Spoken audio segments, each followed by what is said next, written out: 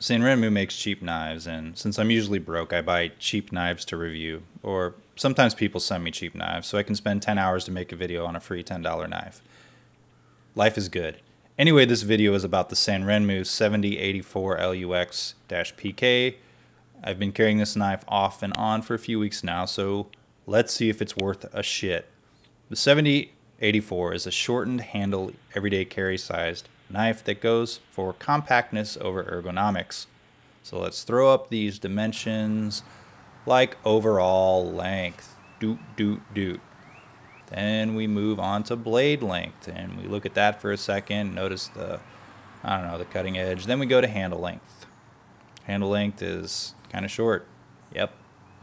Then uh, we move on to weight, spine thickness, and whatever. Okay, it's best to get that out of the way now because what if that's the only part of these you watch? So the knife retails for about $10, so expect it to have some cheap stainless steel. It looks like it uses 12C27, which is more commonly known as Sandvik, but I mean, who knows if it's really Sandvik or not. The blade is a drop point hollow grind that's partially mirror polished and partially satin. It comes pretty sharp out of the packaging, which makes it easy to cut yourself while looking at the camera when making YouTube reviews. The blade is deployed by thumb studs and almost feels assisted if you hit it just right.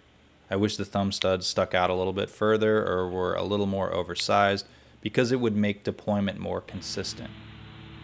Maybe if the blade had a hump, I don't know. As it is though, you don't have to hit it with much force at all for a full deployment. The blade is held into place by a liner lock which holds the blade in place with no rock.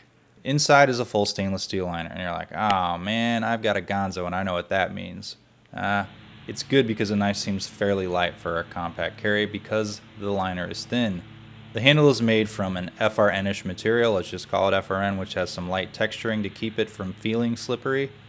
Now the handle is short, meaning your hand isn't designed to go around the whole thing. This is more of like an office blade or for light duty work because the handle hits about the middle of the inside of my hand when it's closed. But it's sharp and it's lightweight and it seems best suited for paper products. It also has that string hole in the back for rope licorice or something. The clip placement is fixed, that means tip down, blade forward if it's in my right pocket. It's shiny and smooth and curved, so it slides into your pocket nicely, doesn't catch on anything, although it is in a deep carry. Alright, let's shave a stick first while I talk about stuff. The knife is designed to be compact and light. The ergonomics don't lend itself to be a big, heavy-duty use blade that you use all day. It's a light-duty, occasional use knife for your egg roll from Panda Express or that priority mailbox you got your cheap knives in. Or I mean, uh, sticks, sticks outdoors, bro. Come on, sharpening sticks is something you need to do to survive. It's constructed well, but if you own any Sanrenmus, you know they are always pretty solid blades. Sanrenmu makes a lot of smaller, international friendly blades.